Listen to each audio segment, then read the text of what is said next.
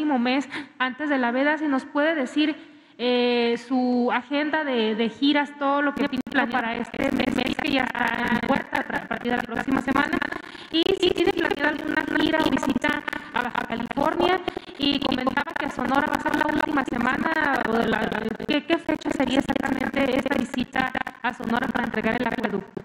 Sí, eh, estamos pensando eh, ir a, a, Sonora para el acueducto. Queremos entregar también el acueducto de Concordia en Sinaloa. Eh, la primera etapa del acueducto de los altos de Jalisco, de Zapotillo, de la presa de Zapotillo, que es un acueducto para llevar agua a Guadalajara y la zona conurbada. Esos tres ya están por inaugurarse. Mañana vamos a inaugurar un, un acueducto importantísimo que es el acueducto que va de cerca de Escárcega, de un pueblo que se llama Centenario, hasta Espujil, en Campeche, que han sufrido muchísimo por la falta de agua. Y es un acueducto que están terminando, que ya terminaron, vamos a inaugurarlo mañana, los ingenieros militares. Pero es todo un acontecimiento.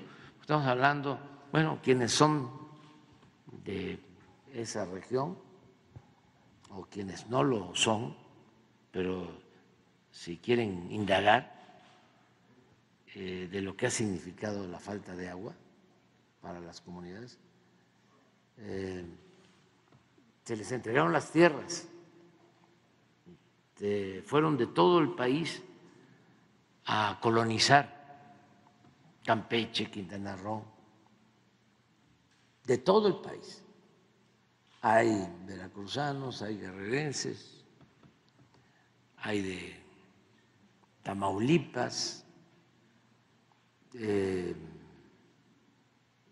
de Jalisco, de Michoacán, campesinos eh, que fueron en los años 60, 70 a poblar. Todo esto que estamos viendo de las zonas arqueológicas, que este es muy cerca de Chetumal, Limón, por la laguna de Bacalar, todo eso estaba eh, deshabitado. Es toda una historia, porque cuando se eh, divide o le eh, quitan a Yucatán todo lo que es ahora Quintana Roo, en la época de Porfirio Díaz, estamos hablando de la mitad de lo que era Yucatán, que es ahora Quintana Roo. En ese entonces, Yucatán, que era el auge del Enequén, en la parte del Golfo, sobre todo, eh, tenía como 300 mil habitantes. 300 mil. Y Quintana Roo, 12 mil. O sea, completamente despoblado porque había también la guerra de exterminio a los maíz. Y Quintana Roo, eso que es ahora un paraíso, era un infierno verde, era pues la Siberia tropical. Era una cárcel en el porfiriato. Ahí llevaron presos a los dirigentes de la, de la huelga de Río Blanco y a todos los opositores. Y era muy difícil salir de ahí por las enfermedades y por el ambiente, el clima malsano, el trópico.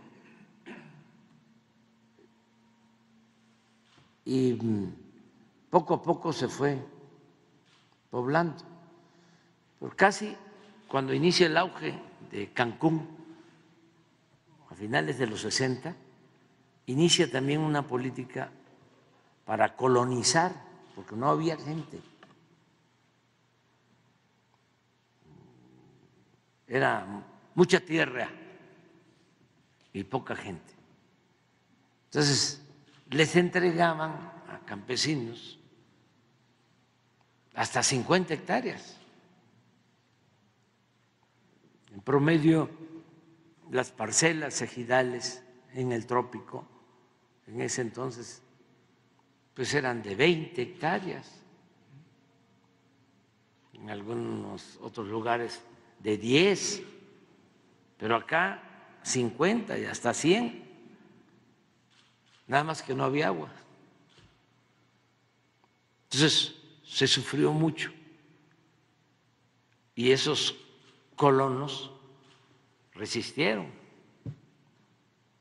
Ahora, eh, Espujil ya es la cabecera municipal de un nuevo municipio, que es Calakmul, y ya van a tener agua buena, y vamos a inaugurar mañana el acueducto. Eh, era tan difícil que ahora vamos a inaugurar el acueducto, creo que son como 80 kilómetros, a ver si se le pregunta a Germán, 80 kilómetros de, de acueducto, si no es que más, 80, 100 kilómetros de acueducto, que pasa por todos los ejidos, por todos los pueblos, pero como tenían un acueducto de hace 30 años que este, se eh, arruinó por completo, pues ya no funcionan las redes de distribución de agua. Ahora vamos a tener, se, tiene el acueducto, pero faltan las conexiones, las redes a todas las comunidades, a los ejidos, a que, bien que estoy tratando este tema, para decirles que vamos a ir avanzando, porque llevaban el agua, les llevaban agua en pipa, que no había otra forma. Ahora se va a tener el agua ya, pero hace falta la red, hace falta la red, que existían, pero pues ya eh, están echadas a perder.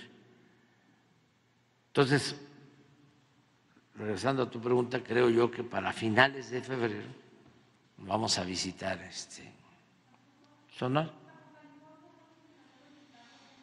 Ahora no, ahora no, este, pero sí estamos trabajando. Eh, ya se logró lo de la planta de tratamiento de aguas negras eh, en beneficio de Tijuana y de Rosarito. Eh, los ingenieros militares van a construir esa planta de tratamiento y seguimos trabajando con las obras del el viaducto en Tijuana, eh, la garita de Otay, eh, le estamos ganando al gobierno de Estados Unidos, o sea, vamos a terminar nosotros primeros, estamos buscando que se llegue a un acuerdo para que eh, se facilite más la salida y la entrada por las aduanas en Tijuana. Estamos trabajando en eso y ayudando en todo lo que podamos, todo lo que se puede.